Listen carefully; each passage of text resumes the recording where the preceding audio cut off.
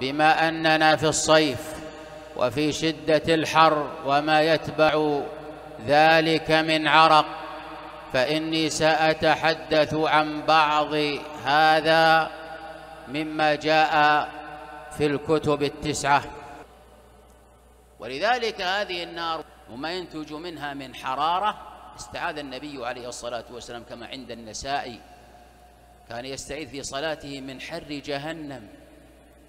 ولذلك قال صلى الله عليه وسلم كما في الصحيحين قال إن ناركم التي يوقد منها ابن آدم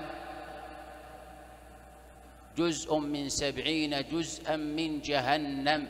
ولذلك في رواية الإمام أحمد مئة جزء مئة جزء. إما للمبالغة أو أنه أخبر أنها وهذا لعله الأظهر أنها أعظم من سبعين.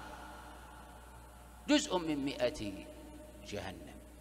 قالوا يا رسول الله والله إنها لكافية. فقال عليه الصلاة والسلام إنها لمثل حرها. لمثل حرها. ولذلك في رواية الإمام أحمد جزء من سبعين جزءا من جهنم حرا فحرا. يعني أن الحرارة تتعاظم وتزداد بعدد هذه النار. ولذلك قال عليه الصلاة والسلام كما ثبت في المسند وسنن ابن ماجه من مجموع الأحاديث عن نارنا هذه التي في الدنيا.